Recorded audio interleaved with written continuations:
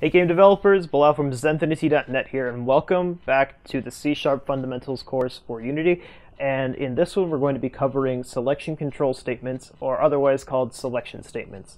Um, and so this is really kind of the core use everyday part of programming, where uh, it's kind of the logic of how your program runs. So it'll determine based on some input or based on some dynamic code um, what to do next. Uh, so you know it'll it can take uh, completely different paths based on what you tell your program uh, to evaluate, basically. So why don't we go ahead and um, remove some of this old code here. Uh, and if you're actually completely new, uh, this is Visual Studio, um, and you can check out the first episode uh, by clicking in the top right. It shows you how to install it. Um, and if you're not using Visual Studio, you can follow along in any IDE uh, but you just want to be able to run this and see output. Um, okay, so I'll go ahead and remove the rest of this.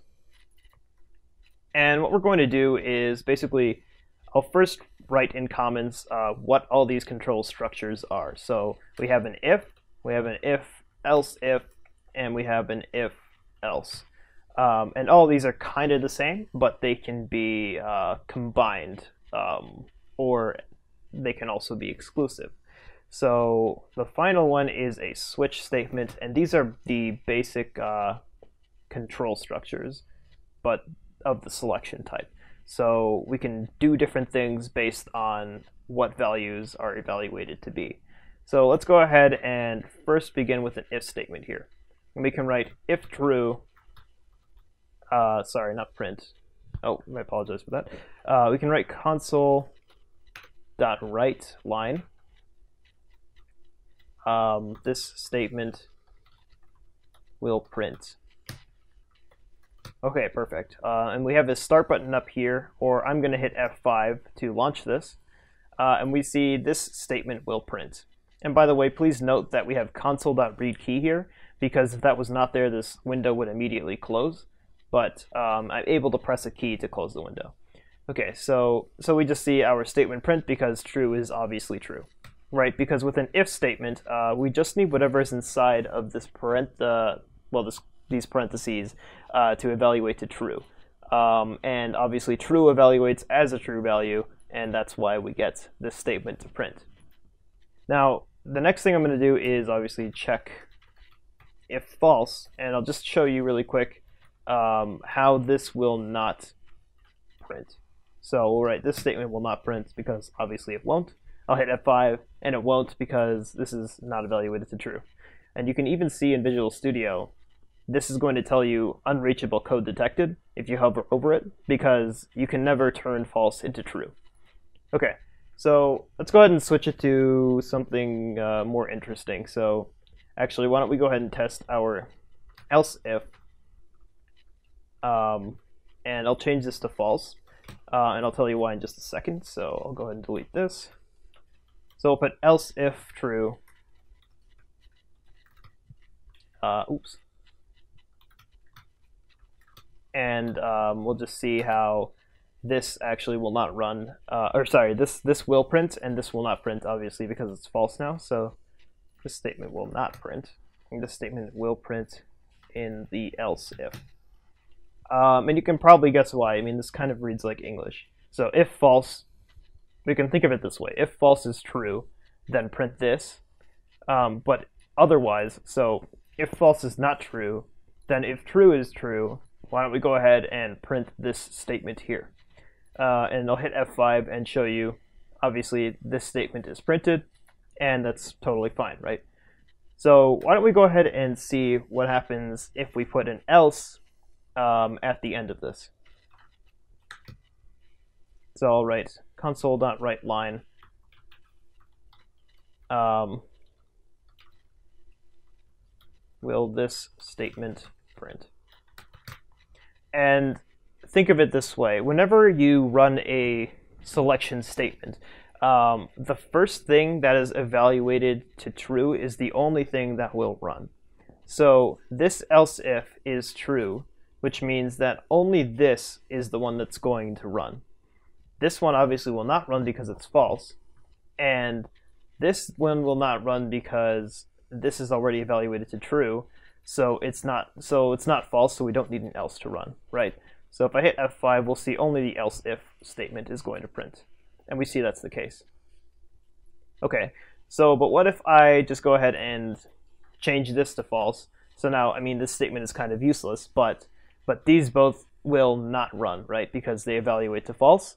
So if both of those are not true, then our else statement should run, right? So let's go ahead and hit F5, and we see that's correct. So will the statement print uh, because these two are false and this one is true. Perfect.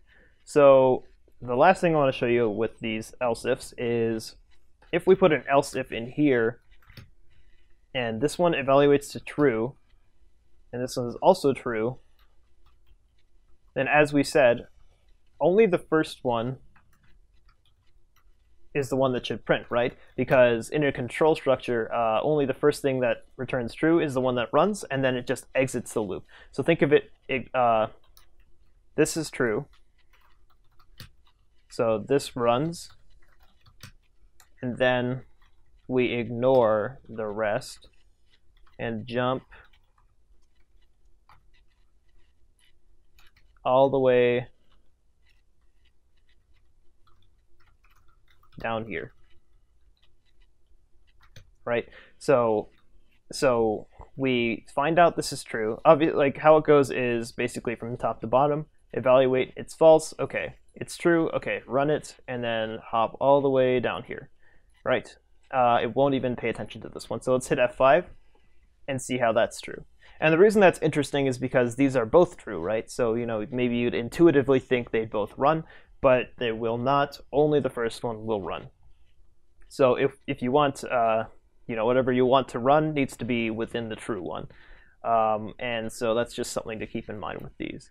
Now, why don't we go ahead and um, use something more interesting than just the booleans like we did before, uh, where we kind of switched it to numbers. So we'll say if for example, 5 is greater than 6, or yeah, 6, then let's let's go ahead and console dot write line, oops, write line, and in here, why don't we go ahead and say, um, okay, um, math math uh, no longer makes sense, right? Because five, everybody knows five is not greater than six, right? So, um, so then we'll put an else um, console that write line. We'll just say all is well in mathematics. Right, because hopefully 5 is not greater than 6. So let's go ahead and hit F5, uh, and then we see all is well in mathematics, and that's perfect. So you just want to keep in mind anything can go inside of this uh, these two parentheses, as long as they evaluate to a Boolean statement, which means either true or false. Um, and so, I mean, like, like even consider this: if five plus one is greater than six, or let's say greater than or equal to six, um, now, now with this will print, awesome, right? So, six is greater than or equal to six. So if we hit F5, we see awesome. And and we see a whole bunch of arithmetic here, but in the end it returns a boolean, and that's why that works. Okay, so now let's go ahead and look at a switch statement, which is really going to be the final part of this. And a switch statement is very similar to an if-else if statement. So let's go ahead and write a switch here. Uh, and in here, I'll write the value 5. And so with the switch statement, you put um, case instead of else if. So let's put case um, 6, for example. And that means it's evaluating if 5 is the number 6, right? So here we'll write console dot write line 5 is 6, right? Um, and it's not, so that won't happen. And then we'll write case 5, you know, 5 is 5, obviously. Um, and after all of these statements, you should write a break, um, as that will tell the switch statement to stop checking once it uh, hits the break here. So let's go ahead and hit F5, uh, and we see 5 is 5 is the one that prints because obviously it's the case 5. So if I change this to a 7, um, and then we use a default statement here, so default console.writeLine what happens is that if none of these are uh, evaluated as correct, um, then what we have to do is uh, go ahead and say console.write line. Uh, we can just type in um, none of the uh, cases evaluated as true. Right, and thus we are here. So let's say a break at the end, um, and now we're good, right? So, so let's go ahead and hit uh, run here, and we see none of the cases evaluated as true. Uh, and that's because 5 is obviously not 6 or 7. Now, the limitation of a switch statement is I can't check, um, I can't check, like, greater than 6, see, because it'll say invalid expression term, and there's no way around that. Um, so with a switch statement, you don't typically want to do greater than checks because, you know, you can't. That's actually everything I want to cover with selection statements. I hope it helps you out, and if this makes sense, make sure to hit the like button and hit subscribe uh, for the rest of these videos. I'm also going to direct you um, to the video in the top right if you're interested in starting Unity faster. Um, there's a free video. It's a sample video from our course, which is also 90% off, which you can click the link in, in the description. Uh, so definitely check that out, and I will see you in the next video.